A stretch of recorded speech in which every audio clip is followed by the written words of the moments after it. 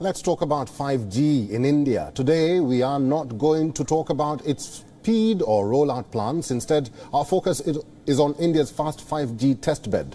Prime Minister Narendra Modi has inaugurated the country's fast 5G testbed to make more favorable environments for farms working on next generation technologies. The Prime Minister launched India's first 5G testbed jointly developed by the IITs at five locations. This will enable a supportive ecosystem for Indian industry and startups. It will help them test 5G products, prototypes, solutions, and use cases. Locally, the solution provides full capabilities to test products and applications such as autonomous vehicles, smart sensors, and remote robotics. 5G testbed can help the industry reduce its dependence on foreign facilities. In the absence of IT, startups and other industry players were required to go abroad to test and validate their products for installation in a 5G network.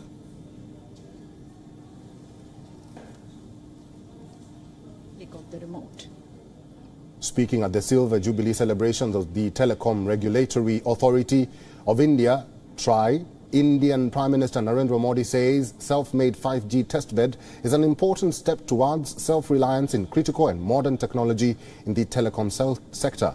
The testbed has been set up at a cost of over 28 million US dollars. It's been developed as a multi-institute collaborative project by eight institutes led by IIT Madras. The other institutes that have participated in the project are IIT Delhi, IIT Hyderabad, IIT Bombay, IIT Kanpur, IISC Bangalore, Society for Applied Microwave Electronics Engineering and Research, and Center of Excellence in Wireless Technology. It seems India is now ready to play a leading role in shaping future of telecom technology.